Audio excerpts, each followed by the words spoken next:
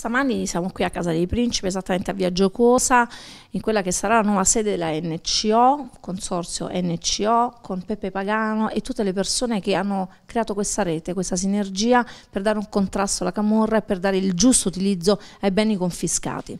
Io stamattina sono stata gentilmente accolta da Michele Docimo, giornalista e direttore di, del web giornale Notizie Migranti, che mh, mm, mi, ha, mi, ha, invitato, ci siamo sentite telefonicamente, un messaggino su Facebook, diceva incontriamoci, cerchiamo di capire un attimo che cosa sta succedendo per quello che è la nostra capacità di comprendere e soprattutto la tua vivendo il territorio di Castelvolturno, tutto quello che purtroppo ancora una volta dobbiamo sentire. Sentiamo da, dai web, sentiamo dal, dai telegiornali nazionali e regionali e purtroppo ancora una volta c'è una situazione che veramente crea, eh, io dico un dolore, un dolore nel dolore perché si cerca di riscattare queste terre, si fa un'azione veramente pulita, ci si sporca le mani in maniera pulita, però purtroppo succede sempre qualcosa che getta ancora una volta quell'ombra su qualcosa che è sempre lì pronta a rinascere. Michele, che cosa sta succedendo, almeno per quello che è per te capibile, vivendo un territorio quale quello di Castelvolturno? Beh, eh, succede quello che da tempo, da tempo si, ci si aspettava, una bolla che mano a mano cresce e poi a un certo punto è destinata ad esplodere. Adesso pare che la calma sia ritornata, ma se non, se non, si trova una cura a queste, a queste, infezioni, un po' come dire passato, passato un po' di tempo, passato l'effetto del medicinale, che poi devono dirci questo, questo medicinale qual è, passato questo, questo effetto l'infezione si ripresenta, si ripresenta di nuovo. Eh, successo quello che è successo, eh, in molti il giorno dopo, oltre a fare la cronaca di quello che è accaduto, si domandano di chi è la colpa. La prima cosa che ci viene in mente di, di dire è di chi è la colpa e qui si trovano le opposte fazioni. Per gli italiani sono i migranti, per i migranti forse sono gli italiani, perché nessuno ammetterà mai le proprie, le proprie colpe.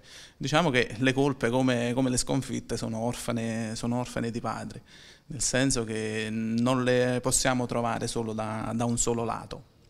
Eh, le colpe sono un, sono un, po', condivise perché la prima cosa che viene da chiedersi è perché si è arrivati a tutto ciò, perché si arriva, eh, non, che un, non, che sia un, male per carità, ma perché si arriva in un comune italiano in cui il 16, quasi 18%, perché poi c'è eh, la questione di, di, tanti invisibili, di tanti certo, non regolari, perché c'è, quasi un 20%, un quinto della popolazione di un comune italiano che è interamente composto da, da, migranti, da migranti, stranieri. E quindi là viene da, da chiederci perché proprio, perché proprio Castelvolturno. E quindi allora bisogna, bisogna analizzare. Non parto nel fare il buonista a tutti i costi, che non è colpa degli immigrati, è colpa certo. solo degli italiani.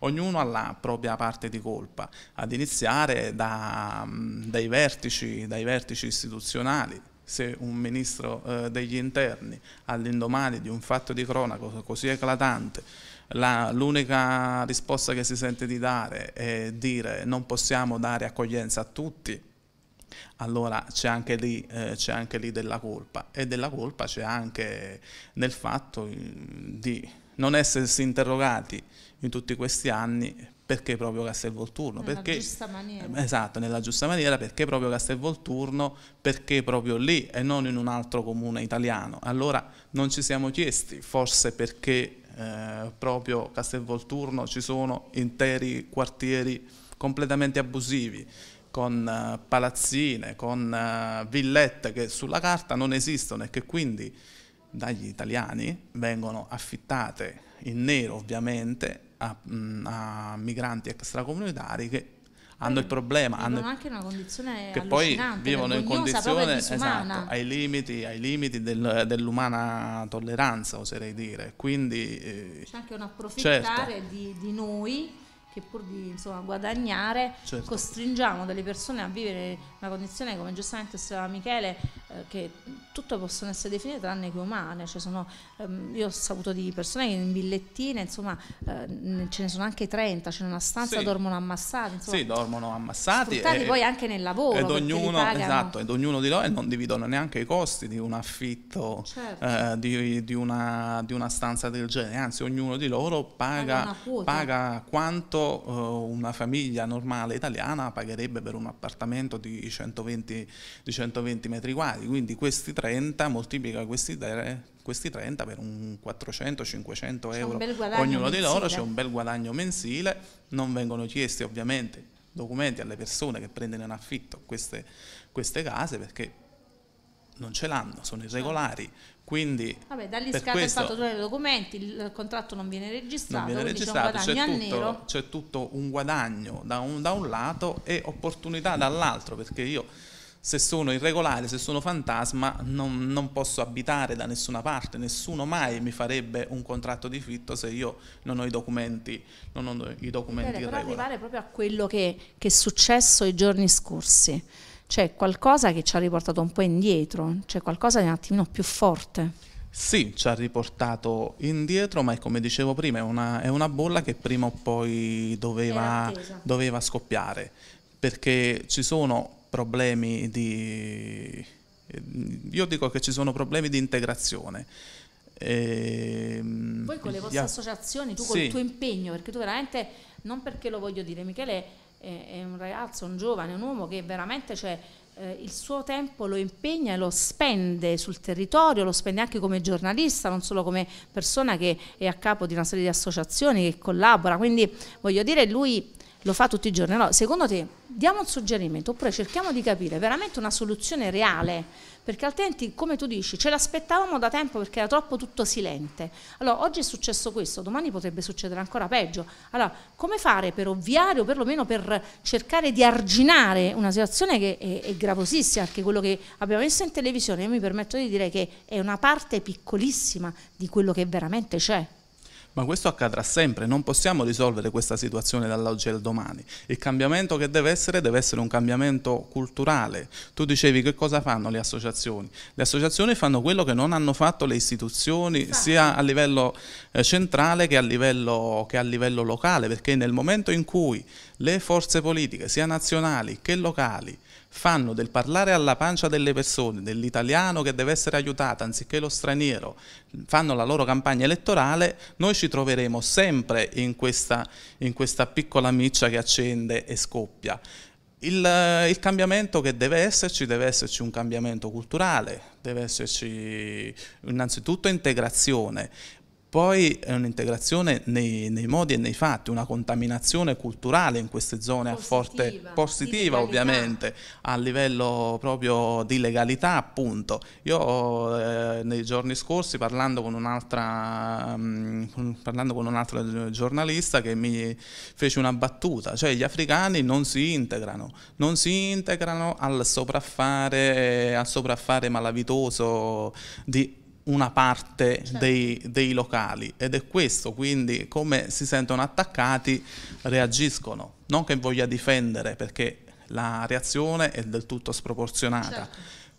però non, non so darti una soluzione da- dall'oggi al domani, la Lavoro soluzione... di costruzione. Sì, deve essere un lavoro di costruzione, devo- de- deve essere un lavoro di bonifica, bonifica del territorio, di- nel senso proprio anche Io mm, anche di chi lo vive. di chi lo vive. da- una da bonifica, italiano. Esattamente, una bonifica soprattutto culturale.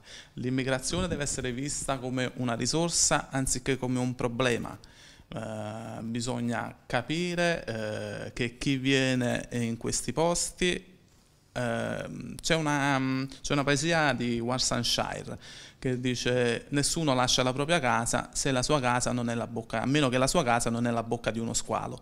Quindi bisogna capire chi arriva dalle nostre parti, sui nostri lidi, che cosa ha passato e come a lui, eh, lui non si sarebbe mai sognato di vivere in un tugurio certo. con altre 29 persone, ma lo fa perché forse al suo paese la vita era ancora peggio, se c'era una speranza, se c'era una speranza di vita. Quindi la questione è proprio questa, uno capire il prossimo, due contaminazione, la parola, la parola d'ordine deve essere proprio questa, contaminarsi culturalmente, le due culture, quella italiana, quella domiziana, quella locale dell'agroversano con tutte quante le altre culture, perché tra, uh, tra, etnie e nazioni si contano ben 77, 77 di differenti nazionalità su, su Castelvolturno, quindi 77 culture diverse, 77 etnie come, come, le vogliamo, come le vogliamo chiamare. Quindi solo mettendo assieme tutto questo, valorizzando eh, Dimitri Russo, il sindaco di Castelvolturno, nei giorni scorsi alla stampa ha detto che lui ad Alfano avrebbe chiesto il permesso, il permesso di soggiorno umanitario, una copertura umanitaria per chi nelle nostre terre lavora e viene sfruttato. E questo è anche un altro discorso che, faccio, che si, all, si, allaccia a quello che dicevamo prima delle, delle, delle colpe. Certo. Perché? Io sono perché contenta sono che tu hai nominato eh. Dimitri, perché Dimitri eh, io lo vedo come il riscatto per Castelvolturno, come Renato Natale per Casale di Principe.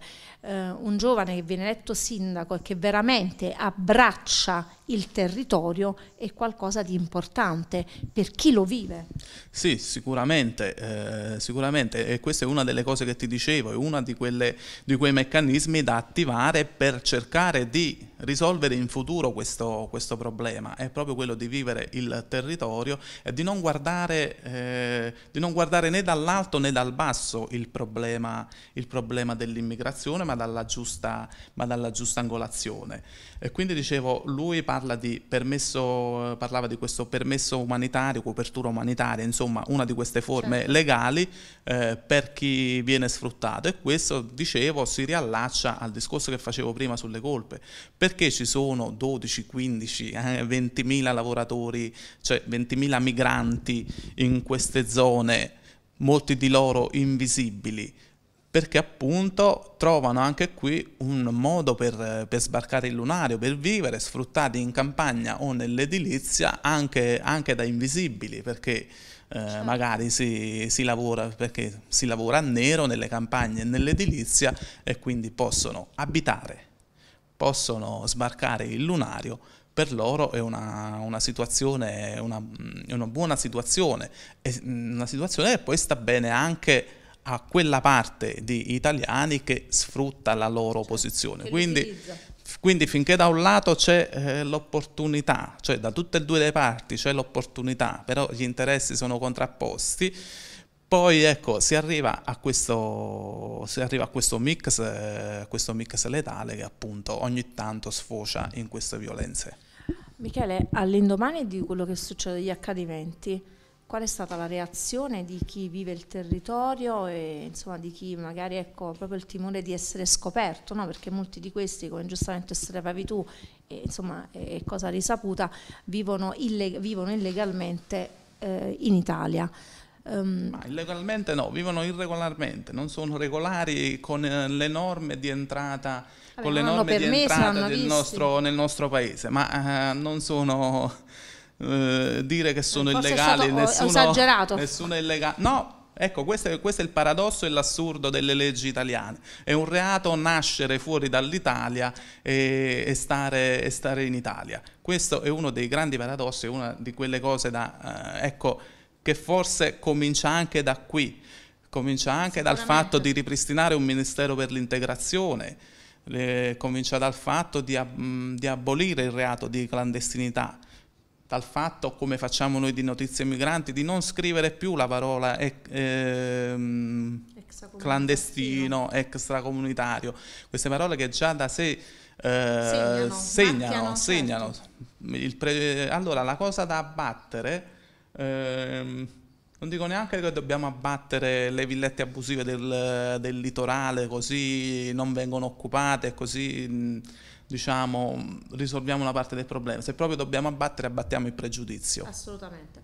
Allora, tu oggi ci farai la cortesia, noi tra un poco insomma lasceremo la futura nuova sede della NCO, del consorzio NCO e Michele ci farà la cortesia, ci porterà a fare un giro sul territorio, faremo un giro a Castelvolturno, eh, vedremo se incontreremo qualcuno, magari se ci sarà la possibilità gli daremo voce perché come giustamente dici tu eh, non chiamiamoli clandestini, non chiamiamoli extracomunitari perché sarebbe già, è già un modo per etichettarli, sono persone, sono migranti, da, da sempre c'è stata l'immigrazione, quindi cogliamo, cerchiamo di cogliere la parte buona, perché come giustamente osserva il collega, è facile dire sono loro i cattivi e siamo noi buoni. Il, la verità è sempre nel mezzo e nel mezzo c'è che il torto e la ragione è sempre al 50%. Allora eh, ringraziamo al momento qui dalla NCO Michele Docimo, ci rivediamo tra un poco e poi ci saluteremo da quello che è un territorio che dovrebbe essere a noi caro, che dovremmo ricominciare ad amare e amandolo forse anche a farlo funzionare meglio. Grazie.